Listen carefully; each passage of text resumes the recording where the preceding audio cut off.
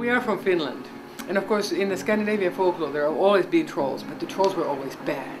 People didn't like trolls, trolls were scary, and if anything bad happened around the house, it was blamed on the trolls. My mom was growing up with these, and of course, kids were told if you don't behave yourself, troll will come and take you away. Well, she got this notion that if there are bad trolls, there ought to be some good ones too. It can all be bad. And um, she wasn't going to do anything about it. But stuff happens. Way up high, were, then were to go fast. Yay! But she explained that he's a friendly one. He will show up on a rainy day to remind you to smile because tomorrow will be better. And that's how it started. At first there was just this one troll, and then over time, other, other ones would pop into her head and she could make them, and she just kind of knew what they were. Uh, we can't just sit down and say, okay, now let's design a new troll. They don't, they don't come that way. They kind of, most often what happens is a, a new troll character kind of pops into our heads, either my mother's or my brother's or mine, and kind of just wants to be discovered.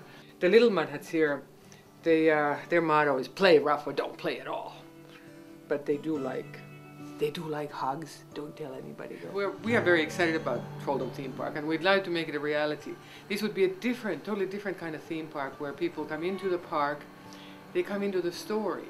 So instead of rides, we would have um, a lot of storytelling and interac interactive activities and play centers where, where people are kind of in the story and the story is happening even, even as they're going through the park. Troll magic is this mysterious stuff that the trolls have. And um, the way it works is um, well, it's invisible. You can't see it. You can keep it behind your ear or in your pocket. And if you're ever feeling tired or cranky or whatever, just take a little bit and sprinkle on yourself. You might feel a bit silly, but you'll feel better. Make you smile. And, uh, and you'll never run out. It's sort of like smiling. You know, you'll never run out of smile, you'll never run out of troll magic as long as you keep sharing it. And if you sprinkle it on your friends, you'll get more. And of course, you know, we sprinkle it on them and then they smile and say, hey, see, look, it works. We talk about troll philosophy. We talk about the message that our trolls want to bring to people. It's a message of love and friendship.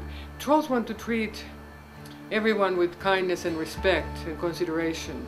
And I think that that's a message that they want to convey to people. Now, we think that if we can get the youngsters, young children thinking this way, that would eventually grow and translate into a, a happier future for everyone. Children need to be uh, we need to show them how to do this. They're game. They love it. They love to discover everything about this world that they have been born into. But um, it's our job to tell them. Mm -hmm. Might like Bugbear the best. He's, this guy's pretty, uh, looks pretty cuddly.